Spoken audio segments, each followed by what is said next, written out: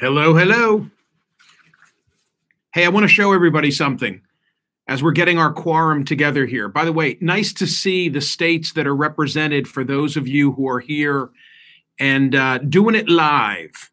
Michigan representing, Tennessee representing, Wisconsin representing, Missouri representing, Montreal representing, Korea representing, and of course, Pennsylvania representing. So, I want to show you some art. I I regard myself as having a deep sense of art appreciation, not a trained eye, but I I enjoy going to galleries. I own a few pieces that are kind of cool, nothing that's uh, over the top. Um, my wife and I, over the years, have enjoyed going to art auctions more to watch the characters in the audience than anything else. Uh, Freeman's is a great gallery in Philadelphia where you can do that sort of thing and have a lot of fun. And yeah, over the years, I've also enjoyed going to flea markets and swap meets and so forth, and among other things, looking at the art. So, in a nutshell, those are my very limited credentials. I'm going to use my uh, my legal tablet as a backdrop. What do you think of what I'm showing you? A modernist flair, very diverse. I, I think, I mean, for what it's worth, I think what I'm showing you is of a is of a trained hand. Here's some more.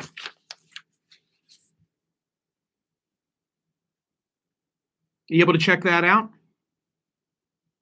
Okay. Uh, I think that the first image that I'm showing you is a self portrait. This one. Oh, geez, if you look carefully at the email, I've already given it away, haven't I? The art that I have just shown you can be yours in the fall for seventy-five to five hundred thousand dollars. What's interesting is that there is no fixed market value for this artist because although this artist is a lifelong artist, I think I'm not positive about this, but I think that uh, his or her turn to painting is relatively recent. And who is this mystery artist? It would be this individual.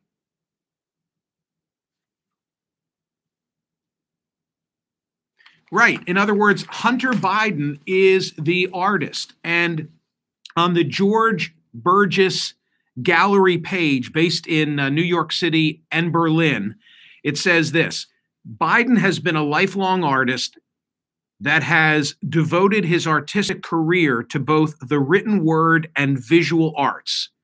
A lawyer by trade who now devotes his life to the creative arts, he brings a myriad of experiences creating powerful and impactful pieces of art.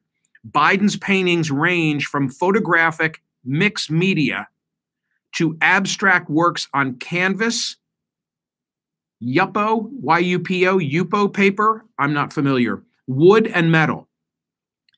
He incorporates oil, acrylic, ink, and written word within his work to create a distinctly unique experience that have become signature Biden. And then there was a corresponding link for an interview that he had done with uh, ArtNet, which I read with um, uh, with great interest. Um, so here's here is the question that is now being raised in the media. Washington Post was the first to really frame the issue. How can how can he pursue his career without creating an ethical dilemma for the White House? I mean, what what is the way in which he ought to be able to sell his paintings that is not going to be a headache for his father? And there's a solution that is um, that has been crafted I- involving the White House that I think is the complete opposite of what it ought to be. The complete opposite of of what it ought to be. Uh, look, let me just say a couple of words about Hunter Biden because you are not watching a Fox segment. I, I am not here to bang the Bidens on ethical matters. I have some concerns um, but I have a perspective that I want to share on this. I have followed the whole Hunter story from the get go. And those of you who listen to me on radio, and many were disappointed, and many of you will be disappointed to hear me say this. I thought that in the 11th hour of the campaign, when the laptop issue arose and a guy named Bobulinski came forward, I thought that that issue deserved to be vetted in the media. And when the New York Post ran with it, and I guess the Daily Mail as well, and other outlets uh, totally shunned the story, and in my view, social media censored that story, I thought it was inappropriate.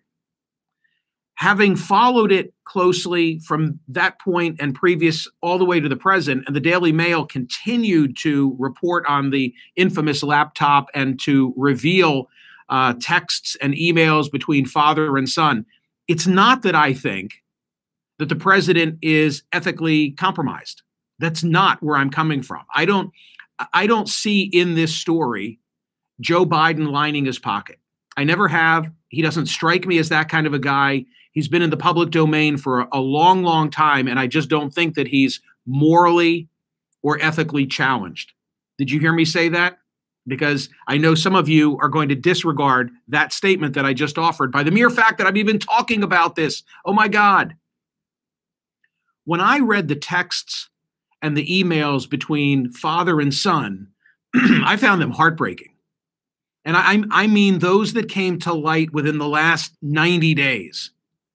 Because to me, what I saw was a father who had already lost a son, meaning Beau, recently, um, struggling to save another. A guy who was in the depths of addiction, and a dad who desperately wanted him to have a reason to live, to pursue a career, and to thrive. I mean, that was what I took away from the story. It just broke my heart to read the exchanges at a time when when Hunter was really down on his luck and his father as vice president was just trying to throw him a lifeline. So I, I, look at those those those ethical issues through a whole different lens than than do the Biden critics. Um, others look at Hunter riding on Air Force One, uh, Air Force Two, uh, to Ukraine or wherever the hell they were going at the time, and and say because they want to draw the the most adverse uh, conclusion. Well, look at you know here's Joe trying to prop him up to do business in Ukraine ethics be damned. Joe was probably getting a piece of the action. Who, after all, was Big Papa in one of the notes or whatever the, the moniker was that they said was Joe? I don't look at it like that at all. I, I look at it as Joe's got a son that he wants to keep alive, that he's that he's afraid of overdosing. And if Hunter is now pursuing a career uh, as a lobbyist, if he's pursuing a career, I'll get to this in a moment, as a paint, whatever Hunter is going to do, dad wants him safe and productive. I get it. It'd be my instinct too. So, okay, so Hunter is now a painter. And and look, I you know, it's not the sort of thing that I would seek to own, but I think he has a talent. I think he has a talent. I mean, to, to me, this looks like Gerald Scarfe kind of stuff. If if you know who I'm referring to in the album art, or or some of the hypnosis um, works that made their way into Pink Floyd's uh, production. The question is, how does he do it so that someone doesn't wildly overpay so as to curry favor with the first family. That's the issue. In other words, the art is going on sale in the fall, and people are appropriately saying, "Wait a minute, how how for a guy who has no market value can he sell paintings for seventy-five to five hundred thousand dollars?" So the solution that's been crafted, according to the Washington Post, and you can see this story on my website at smerconish.com, is as follows. White House officials have helped craft an agreement under which purchases of Hunter Biden's artwork, which could be listed at prices as high as $500,000, will be kept confidential even from the artist himself in an attempt to avoid ethical issues that could arise as a presidential family member tries to sell a product with a highly subjective value. Under an arrangement negotiated in recent months, a New York gallery owner is planning to set prices for the art and will withhold all records, including potential bidders and final buyers, The owner, Georges Berges, has also agreed to reject any offer that he deems suspicious or that comes in over the asking price, according to people familiar with the arrangement. Oh, hold on. This is just fraught with so many problems. First of all, who, who is this guy, Georges Berges? And how can we trust his judgment to reject a suspicious offer?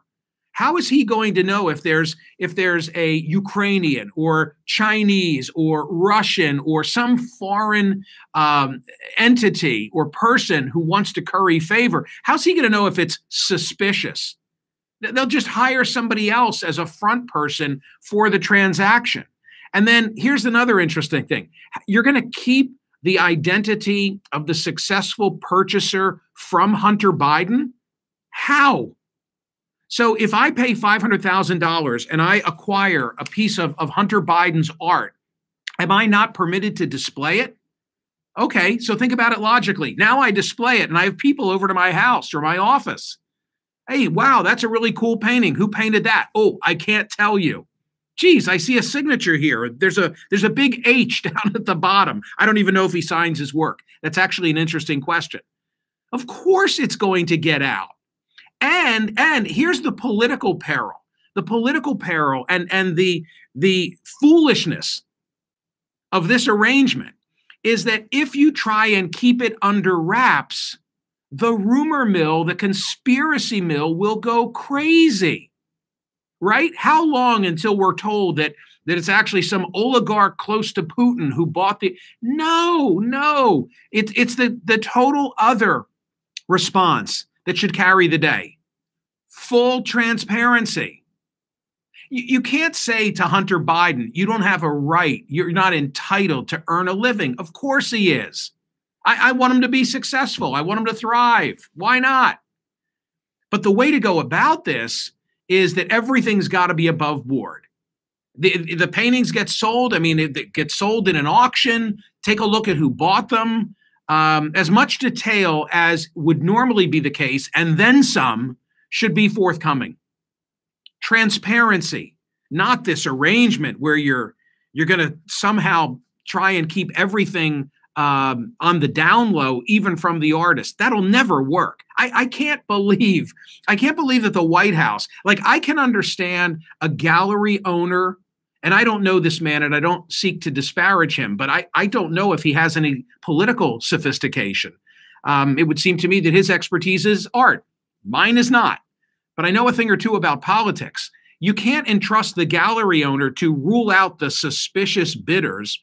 And secondly, uh, the political aspects of this should have been obvious. This is nothing but a can of worms that's only going to make the situation worse and feed into a Fox narrative about uh, the you know illicit conduct uh, of both father and son, which I made clear I don't I don't buy into with regard to dad. I just think it's a I think it's a fascinating story. It's really interesting.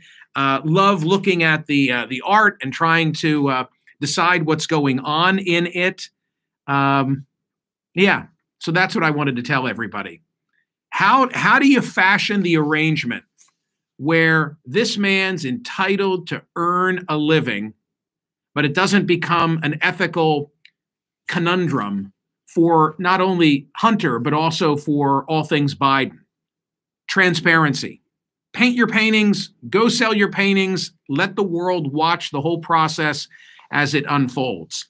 Um, anyway, that's what I wanted to mostly say today. I, I will uh, I will find yeah, I, I you know what? I will I will take a look at the comments later because it's too much it's too much for me to see as they scroll by. The first thing that I see on the screen is the whataboutism. I, I can see several references to Ivanka. Okay, does that make this right? I mean, the Trumps are behind us. We're now talking about this. And I don't think that the answer is simply, well, the Trumps did it. Yeah, the Trumps did do it. The Trumps lined their pockets all the while that Donald was president. Uh, take a look at the uh, the Trump International Hotel, a block from the White House, Exhibit A. Okay, there we dealt with that now, right? Can we now have an intelligent conversation about this? It's very unique. It's very interesting, and the art makes it uh, a very visual conversation to have. So I'll read all the comments later. Um, thank you for being here. I really appreciate it. The other, we've put up some great stuff here on my YouTube channel recently. Please subscribe while you're here on my YouTube channel. Please subscribe and ring that little bell. Okay. Hope you have a wonderful weekend. Thank you so much for watching, and I will see you on CNN very soon.